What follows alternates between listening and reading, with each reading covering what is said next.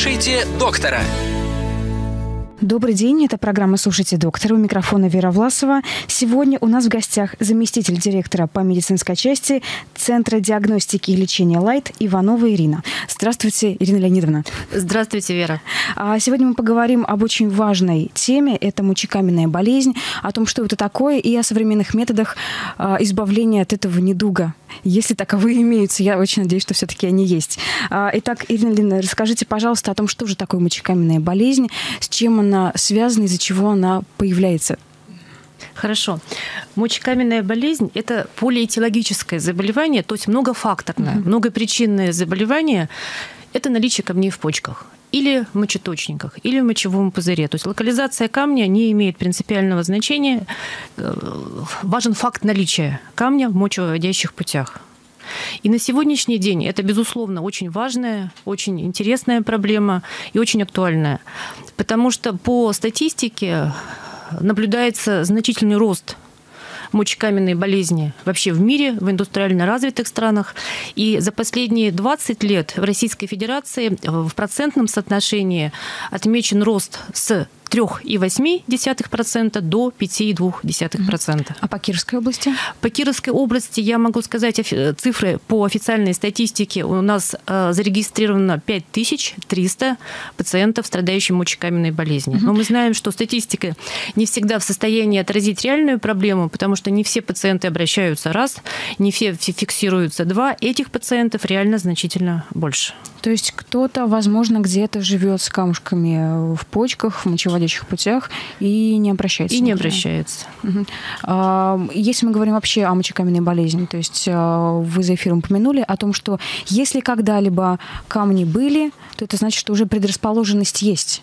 Да, мы об этом с вами поговорим чуть позже, потому что это действительно многофакторная болезнь. Причин очень много, факторов риска очень много, и только в совокупности все эти факторы могут привести к развитию мочекаменной болезни. Угу. Я слышала, что есть еще некое подразделение а, в зависимости от географического расположения, нахождения а, региона, э, повышается или понижается фактор риска заболевания мочекаменной болезни? Да, в мире все это изучается. Ученые смотрят на процент распространения мочекаменной болезни.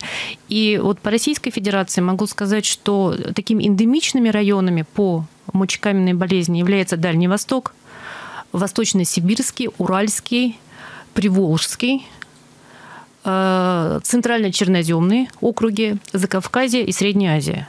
Почему именно они? Э, сложно однозначно ответить на этот вопрос. Э, считается, что, да, еще районы Крайнего Севера забыла сказать, считается, что безусловным предрасполагающим фактором является климат, то есть это избыточно жаркий избыточно сухой, избыточно холодный климат, и состав воды тоже имеет значение. Но помимо этих факторов еще имеются генетические факторы. Поэтому однозначно на ваш вопрос ответить, наверное, невозможно в настоящее mm-hmm. время. Ирина Лидовна, тогда поясните, пожалуйста, каковы факторы риска, э, при каких причинах может возникнуть мочекаменная болезнь? Факторы риска мочекаменной болезни можно разделить на внутренние и внешние. Внутренние факторы – это состояние самого организма человека. И здесь может быть э, большое множество причин. Прежде всего, мы уже говорили с вами об этом, это наследственная предрасположенность, от которой мы никуда угу. не можем деться. Это наши гены. Угу. Это в каждом поколении идет или передается через поколение? По-разному. То есть, опять-таки, это зависит от того, будет ли какой-то катализатор, да, который проявит потом предрасположенность или нет. Наличие других факторов, которые mm-hmm. мы сейчас mm-hmm. еще поговорим, да. они тоже име- имеют значение э, дополнительно к наследственной предрасположенности.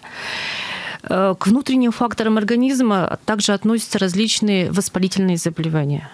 И прежде всего воспалительные заболевания мочеполовой системы. Это пиелонефриты, это циститы, к внутренним факторам относятся также нарушение уродинамики, то есть оттока мочи. Это различные структуры мочеточников, это структуры уретры, это гидронефроз и, и так далее. К внутренним факторам относятся различные э, нарушения минерального обмена. Это такое заболевание, как гиперпаратиреоз. Э, поясните, пожалуйста, что это? Гиперпаратиреоз, когда нарушается работа э, паращитовидных желез, и это приводит к нарушению минерального обмена и отложению солей кальция, фосфатов в различных органах и тканях, в том числе и в почках. А в каких случаях это может быть? Потому что, на мой взгляд, э, и вот с чем я сталкивалась в жизни, что это вот наиболее такой самой распространенной причиной является. Вот изменение образа жизни может быть, изменение э, питания, изменение, допустим, появление беременности у женщин. Да, это связано все? Нет, гиперпаратиреоз не связано ни в коем случае с беременностью, с питанием. Это может быть в рамках какого-то другого заболевания, состояния, в частности, в рамках почечной недостаточности, может быть самостоятельным заболеванием. Но гиперпаратиреоз приводит к нарушениям обмена, прежде всего кальциевого и фосфорного обмена. И э, камни могут откладываться не только в мочевыводящих путях, и в любых других органах. Это авитаминоза, касаемо витамина D прежде всего и гипервитаминоз витамина D, и гиповитаминоз может стать причиной камнеобразования в почках. Это нарушение обмена мочевой кислоты. Я думаю, что многие наши слушатели знают, что такое подагра.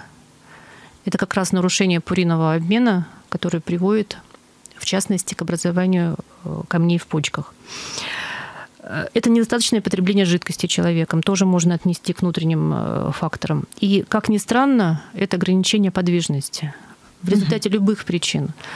Э, в том числе это различные заболевания, инвалидизирующие заболевания, когда человек неподвижен. Ну и наш малоподвижный образ жизни тоже способствует э, камнеобразованию. Внешние факторы, это, естественно, факторы э, внешней среды.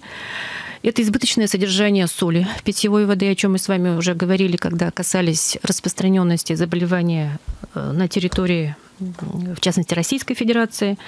Это недостаточное потребление жидкости человеком, о чем тоже мы уже говорили. Это климатические условия, избыточно жаркий или избыточно холодный, сухой климат. Это вредные привычки. Например? Да, как бы банально это ни звучало, это вредные привычки, это избыточное потребление алкоголя, это, естественно, курение. Э, Все в нашем организме взаимосвязано. Но и к вредным привычкам здесь можно отнести и переедание – Угу. Причем в развитии мочекаменной болезни имеет значение переедание каких-либо определенных продуктов. Э, и здесь, наверное, уместно вспомнить знаменитую фразу про Цельса, что все есть яд, все есть лекарство, все uh зависит uh от дозы. Но это уже перефразированная в современной интерпретации фраза. Э, да, мы сталкиваемся с теми проблемами, что пациенты, которые даже ведут очень правильные здоровый образ жизни, но увлекаются различными диетами, это тоже часто может привести к развитию мочекаменной болезни, в частности, употребление чрезмерное, я подчеркиваю, все хорошо в меру, чрезмерное употребление каких-либо продуктов, в частности, овощных соков, фруктовых угу. соков свежевыжатых в большом количестве тоже способствует изменению э, кислотности мочи и созданию условий для камнеобразования. Поэтому все хорошо в меру. В большом количестве это все-таки в каком? Э, вы знаете, невозможно называть граммы и Для миллилитры да, в, в, в этой мерки. ситуации, но вот все хорошо в меру. Это, наверное, самая, э, пусть и обтекаемая, но самая э, правильная фраза в этой, в, этой, в этой ситуации. К внешним факторам также можно отнести избыточное потребление поваренной соли, ну, это вообще такая мультидисциплинарная mm-hmm. проблема. Это завязано не только на камнеобразование, это мы знаем, что завязано прежде всего на проблеме артериальной гипертензии. Ну и, и потребление не всегда оправданное в больших количествах различных медикаментов. Ну и, наверное, для наших слушателей важно знать, что потребление аспирина в больших количествах те, количество, те дозы, которые назначаются врачами для либо профилактики, либо для лечения ишемической э, болезни, это не те дозы, которые могут привести к каким-то либо последствиям в плане мочекаменной болезни. Здесь речь идет о других ситуациях, когда с жаропонижающей целью, либо с другими целями пациенты принимают в большом количестве аспирин, антоциды, антибиотики тетрациклинового ряда, сульфаниламиды. Это тоже препараты, которые могут способствовать камнеобразованию, изменяя pH мочи. Угу. Ирина, тогда вопрос в связи да. с э, медикаментами. Как мы можем нейтрализовать вот это их э, отрицательное воздействие? Нейтрализовать мы не можем. Здесь единственное правило не заниматься самолечением, угу. потому что любой врач, естественно, назначает препараты по показаниям раз и в тех адекватных дозировках, которые проверены, которые рекомендованы, которые написаны в инструкции. Поэтому здесь не заниматься самолечением. Только консультируемся с специалистами да, исключительно. Да, это, наверное, будет сегодня лейтмотивом всего моего выступления, что... Это всей нашей программы. Да, да, наверное, наша программа нацелена на то, чтобы рассказать о симптомах заболевания, да. о мерах его профилактики. Чтобы и... слушатель сделал правильный выбор. Да, да, правильный выбор, что нужно обратиться к врачу и посоветоваться со специалистом. По факторам риска у нас все или что-то есть еще? Я думаю, что все. Да, тогда переходим к следующему вопросу уже о проявлениях, наверное, да, поговорим. Э, клинические проявления мочекаменной болезни могут быть различными. Но для наших пациентов э, необходимо знать, что основные симптомы, которые требуют обязательного обращения к врачу, это первое изменение цвета мочи, то есть появление красноватого окрашивания мочи, что говорит о наличии примеси крови, эритроцитов угу. мочи. Это очень грозный симптом, прежде всего, не только э, в плане мочекаменной болезни, это может быть проявлением опухолей мочевыводящих э, путей. Поэтому изменение цвета мочи в сторону красноватого окрашивания – это повод немедленно обратиться к врачу, желательно урологу. Угу. Второй симптом – это э, болевой э, синдром различной степени выраженности в поясничной области. Боль может радиировать в подвздошной области, в паховой области, но это уже все нюансы. Наличие боли в поясничной области и красное окрашивание мочи – повод обращения к урологу. Э, безусловно, болевой синдром может зависеть от локализации камня, будь то камень э, в почке, в мочеточнике или в мочевом пузыре, но это не суть важно. Вот те симптомы, которые я перечислила, являются поводом обращения к урологу. И надо отметить, что на сегодняшний день основным поводом обращения к урологу как раз является мочекаменная болезнь. Одним из основных. Э, могут быть различные дизурические явления. Это что такое? При дизурические явления это э, могут быть различными. Это может быть болезненное мочеспускание, это может быть частое мочеспускание, может э, быть императивные позывы на мочеспускание, то есть повелительные позывы на мочеспускание. Это тоже, тоже повод обратиться на прием уролога. Когда мы говорим о почечной колике, это, конечно, крайнее проявление болевого синдрома, при мочекаменной болезни. Это очень выраженная боль. Больные в этот момент, как правило, ведут себя очень беспокойно, потому что боль очень выраженная. Она может сопровождаться и рвотой, и вздутием живота, и болью не только по ходу мочеточника в поясничной области, но и болями в животе. Э, может быть падение давления. То есть различные проявления, ну, по сути дела, острого хирургического состояния. И здесь я хочу подчеркнуть, что даже если у пациента есть мочекаменная болезнь, и он уже пережил какие-то эпизоды почечной колики, обращаться к врачу нужно обязательно, потому что все эти симптомы могут наблюдаться и при других катастрофах э, в брюшной полости и забрюшинном пространстве. Это может быть проявлением острой хирургической патологии, которая требует экстренного хирургического вмешательства. Поэтому обращение за экстренной медицинской помощью при таких проявлениях, похожих на почку, почечную колику, тоже обязательно. Возможно ли предупреждение э, возобновления образования камней? Ну, наличие камня в почке – это уже мочекаменная болезнь. Угу. И поэтому, когда мы э, либо растворяем камень медикаментозно, либо убираем его хирургическим путем, болезнь все равно остается. И все мероприятия э, по лечению уже возникшей мочекаменной болезни, они направлены на то, чтобы предупредить образования новых камней. Это, безусловно, вот те меры профилактики, о которых мы с вами говорили. Но мы еще, еще наверное, остановимся uh-huh. на мерах профилактики. Это модификация образа жизни uh-huh. пациента, это прием назначенных урологом препаратов для предупреждения нового камня образования. Да, безусловно, все в комплексе это имеет значение. Давайте теперь поговорим, э, ну, вернемся еще к факторам, да, и к изменению образа жизни для того, чтобы э, как можно э, больше, э, сильнее уменьшить да, вновь э, вероятность возобновления мочекаменной болезни вот именно в остром состоянии. Давайте перейдем, все-таки очень хочется узнать о методах лечения. Вот вы уже упомянули, что это, а, может быть, растворение камней или уведение их каким-то образом. Вот расскажите, пожалуйста, потому что раньше а, я слышала, что довольно это так негуманным методом проводилось. Как это происходит сейчас? Ну, если говорить о профилактике э, не медикаментозной мочекаменной болезни, то есть любой человек вначале должен узнать свой семейный анамнез узнать, страдали ли наши прямые родственники мочекаменной болезнью.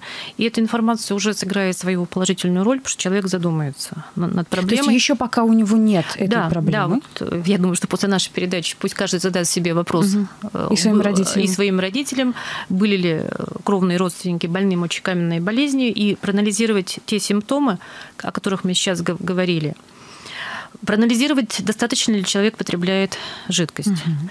Но здесь не хочется давать каких-то конкретных рекомендаций, потому что, может быть, э, какие-то противопоказания у человека есть для потребления большого количества жидкости. Это и наличие почечной недостаточности, это и наличие хронической сердечной недостаточности. То есть много ситуаций, в которых нужно ограничивать потребление жидкости. Угу.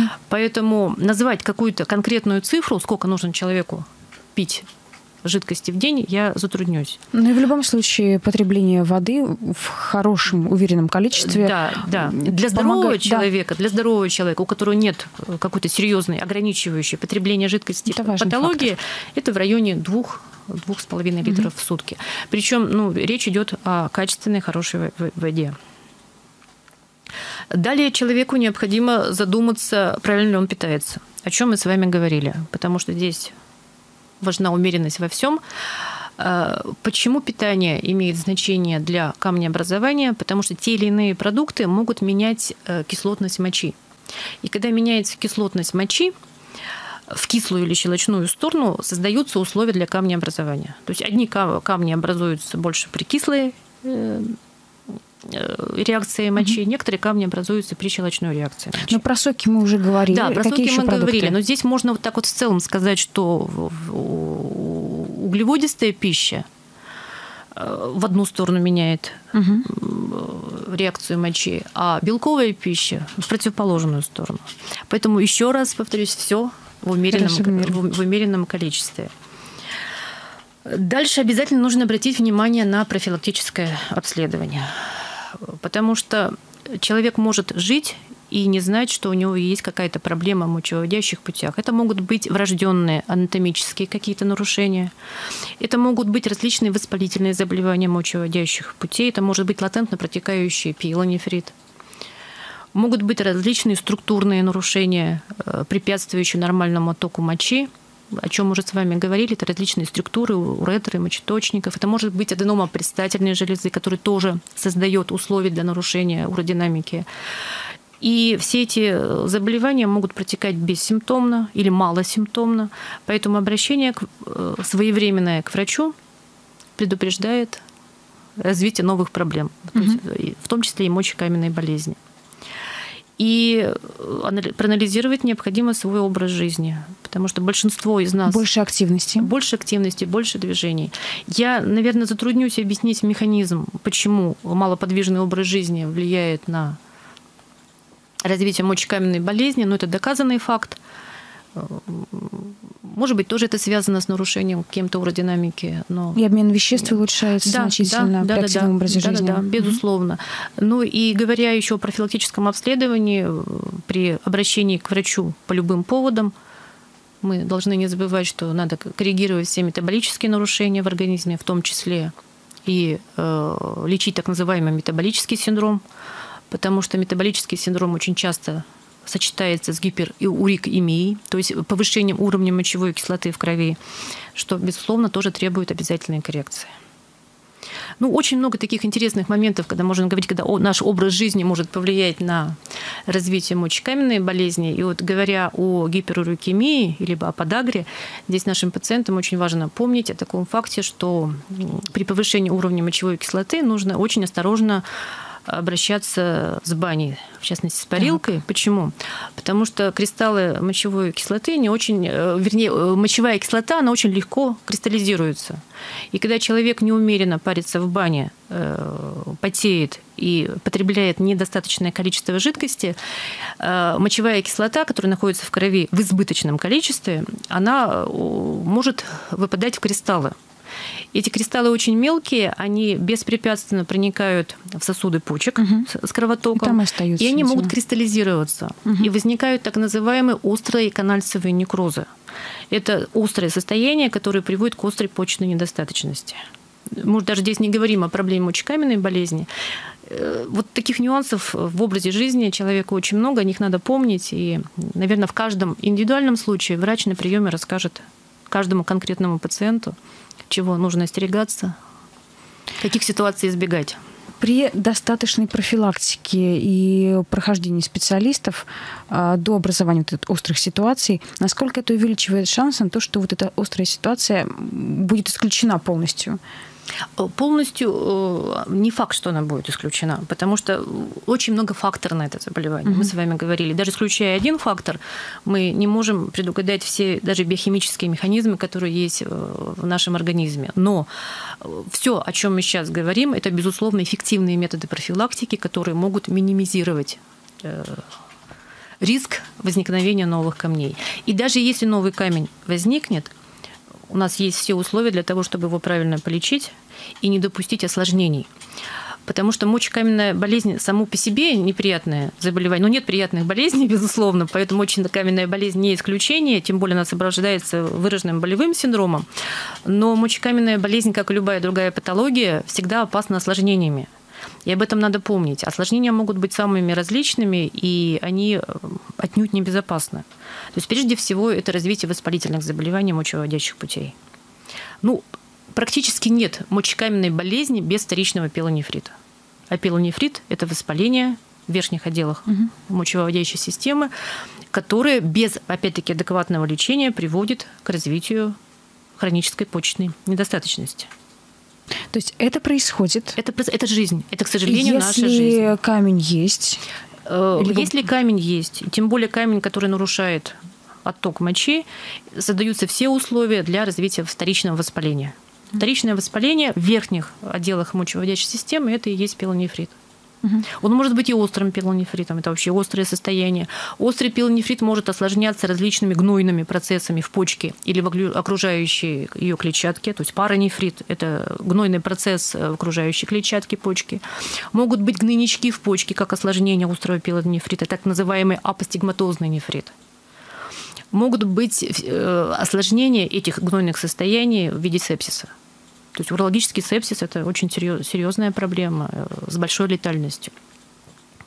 Это я говорю не для того, чтобы как-то испугать наших слушателей. Я ну, просто говорю о, да, я говорю угу. о серьезности проблемы. То есть спускать эту э, проблему на тормозах однозначно нельзя. Надо обращаться к врачу. В любом случае нужно быть готовым к тому, что при всей профилактике э, да. может возникнуть Может возникнуть, ситуация. потому что это болезнь. И мы должны понимать, что мы лечим не камень в почке. Мы лечим болезнь, мы да. лечим организм да. человека, а в организме человека все, все взаимосвязано. Угу случилось вот, то, что мы поняли, что у нас э, вот все эти симптомы, которые вы называли, то есть э, боль э, в районе там, Пояс... поясницы, да, поясницы. А, если покраснее, там красный цвет мочи, мочи появился, что делать?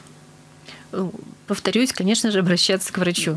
Да, и что Но здесь дальше? еще хочу отметить, что вот если камень большой, в верхних отделах мочевых путей, в лоханках, большие коралловидные камни, они могут э, давать очень умеренные проявления. Может быть, не быть выраженного болевого синдрома, может быть, просто тупые э, неприятные ощущения в поясничной области, потому что камень большой, он неподвижный, угу. будет только изменение в анализах мочи.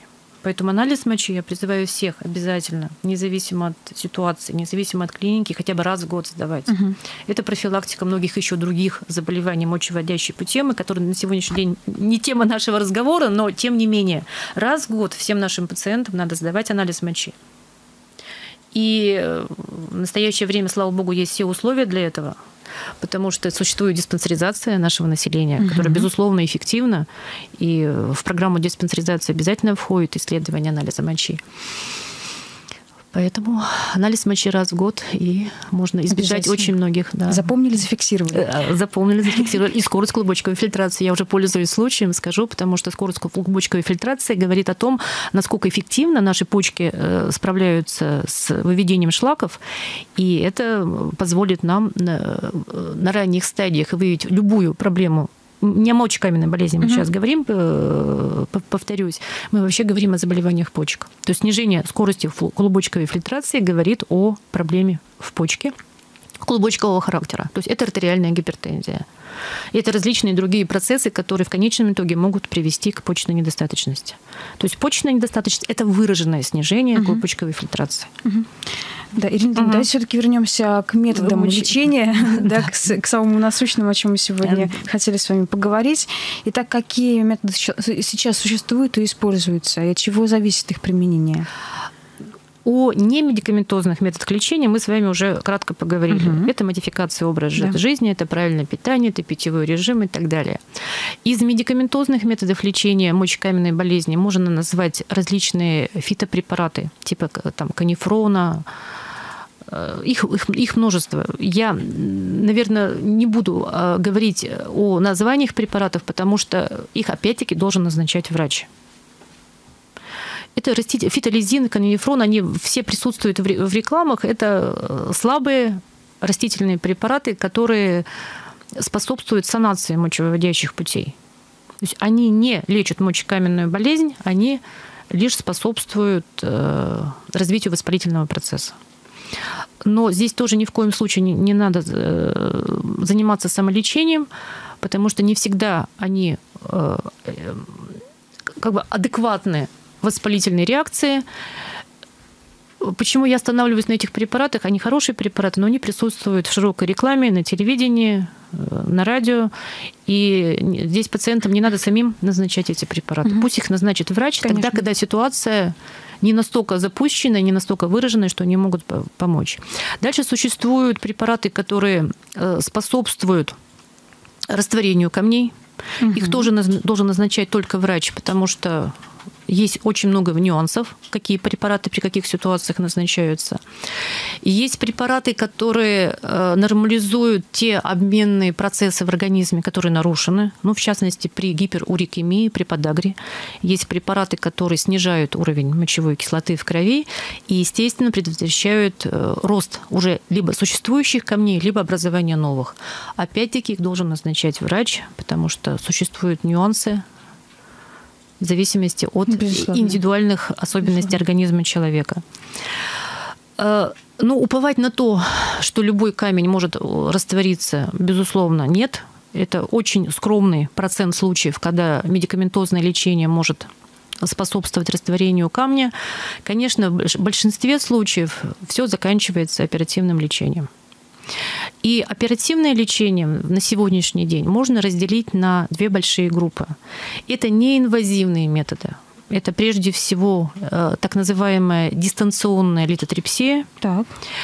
И э, оперативные методы уже инвазивного характера, их тоже можно разделить на две большие группы. Это либо эндоскопические методы, когда ми- при минимальной инвазии происходит удаление камня с помощью эндоскопического угу. оборудования, и уже большие полостные операции, когда ситуация не позволяет либо с помощью эндоскопа, либо с помощью литотриптора решить, решить проблему мочекаменной болезни. Давайте сегодня мы успеем только о литотрипсии поговорить. Что это такое? Литотрипсия – это очень эффективный, это современный э, метод лечения мочекаменной болезни.